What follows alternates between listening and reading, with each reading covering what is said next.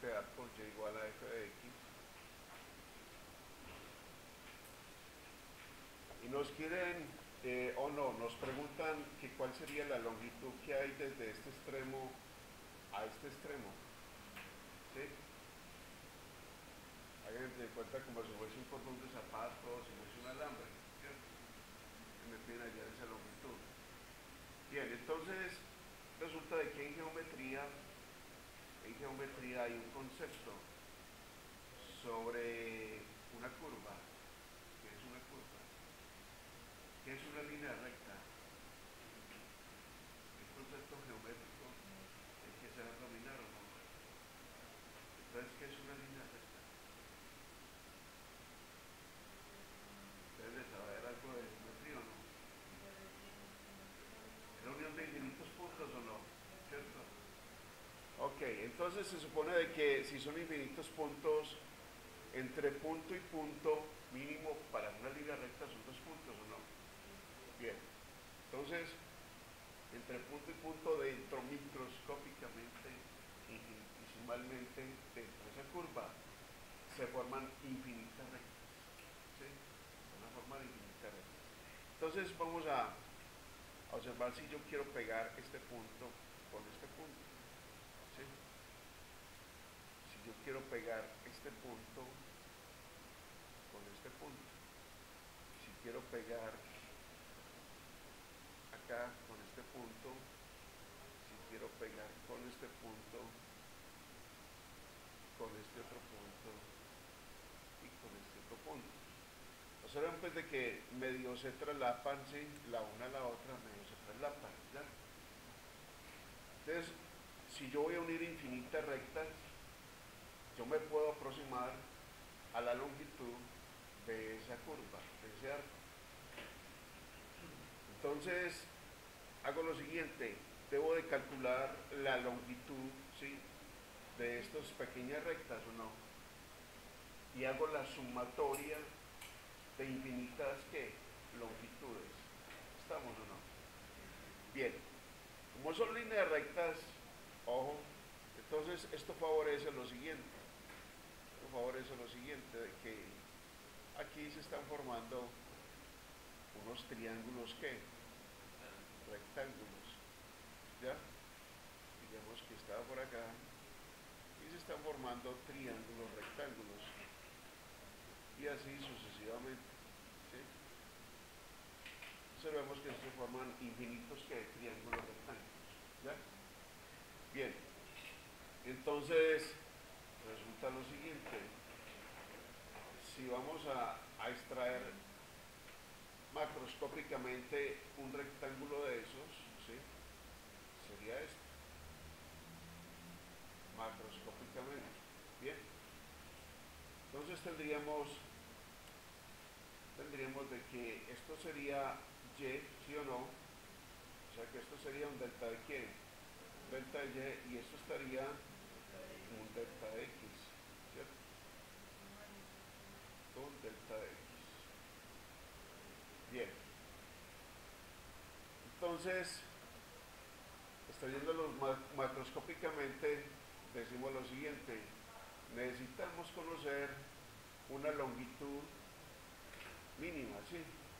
Necesitamos conocer una longitud mínima. Vamos a suponer que extrajimos este, este triangulito y que lo proyectamos acá. ¿Listo? Que fue proyectado ahí. Entonces tenemos que hallar la longitud que hay acá, en este, esta hipotenusa. Entonces esa longitud sería igual a qué? Exactamente. Entonces L sería igual a la raíz cuadrada de quién? Delta de x al cuadrado más delta de y al cuadrado. ¿Listo? Muy bien. Entonces tendríamos acá lo siguiente. Esto para esta pequeña longitud o no. ¿Ya? Y necesitamos sumar cuántas? Infinitas. Bueno, entonces primero que todo debemos de hacer lo siguiente. ¿Qué longitud es igual, entonces aquí voy a hacer una baroma algebraica, entonces hago lo siguiente, divido y multiplico por quién, por delta de x 2, bien, entonces esto sería delta de x2, delta de x2 más delta de y2 delta de x2 bien entonces esto va a ser igual a tener la raíz cuadrada de 1 más delta de y delta de x todo eso a la 2 y esta delta de x sale como delta de x, ¿cierto? Bien, eso solamente es para una longitud que sea mínima o infinitesimal o no. Y necesitamos sumar cuántas? Infinitas, bien. Entonces necesitamos sumar infinitas, entonces decimos de que hay un límite o no, porque la la longitud tiene extremos y se tiene que acabar en cualquier lugar. Entonces decimos de que la longitud mayúscula va a ser igual al límite cuando el número de qué? Rectas tienda a qué? A infinito. Ajá. Sumatoria con i desde 1 hasta n de todo lo que hay acá, de la raíz cuadrada de 1 más delta de y delta de x a la 2 delta de x bien entonces lo que es infinitesimal se me convierte en una gran suma o no bien o sea sería la integral desde dónde hasta dónde desde a hasta b de la raíz cuadrada de 1 más delta de y eh, perdón. Ya que cambia al volverse a integral sería de y de x todo esto a la 2 por el de quién? de x bien ahora sabemos de que esto también va a ser igual que longitud va a ser igual la integral de a hasta b la raíz cuadrada 1 más f' de x ¿sí? es lo mismo que tenemos ahí al cuadrado por el diferencial de x. Bien entonces esa sería nuestra fórmula de trabajo para hallar la longitud de arco bien. Quiero enfatizar acá en este, en este tema,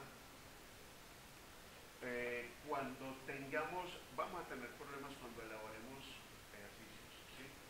¿Cuáles son los problemas a los cuales nos vemos abocados? Que, que si estamos graves en álgebra, ¿cierto?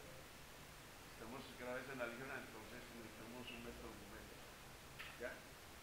Cuando no estemos graves en álgebra, pero veamos de que, de que no hay forma de pasar, así como lo hicimos con ese problema de la raíz cuadrada. Uy, ¿qué es esto? Exactamente, no, de, de esa otra raíz, el del volumen.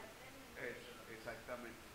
Eh, miren que es difícil salir de ese problema, ¿cierto? Entonces, para eso se prestan los métodos numéricos o la integración numérica. ¿Listo? Entonces, cuando tengamos ese rollo, vamos a salir con este método, ¿sí? se llama la regla de Simpson. Entonces quiero colocarla ahí, quiero colocarla ahí, de tal manera que le sirva de herramienta de trabajo. ¿Listo? Regla de Simpson, un tercio.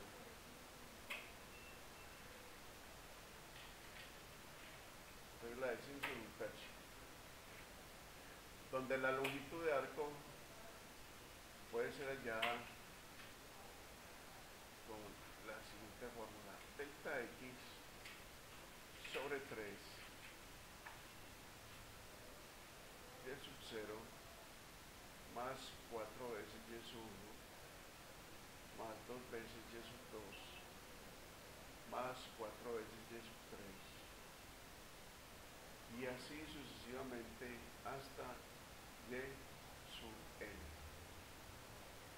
con delta de x igual a p menos a sobre n, siendo n siendo n como un número par, siendo n como un número par. Es la única manera, ¿cierto?, de obtener eh, la solución a, esas, a ese tipo de integrales y más que todo cuando hay raíces cuadradas. Cuando hay raíces cuadradas, que es mucho más bravo sacarlo que hay. Entonces acá tiene que tener arte puro el manejo de álgebra. Para mí aquí es álgebra pura.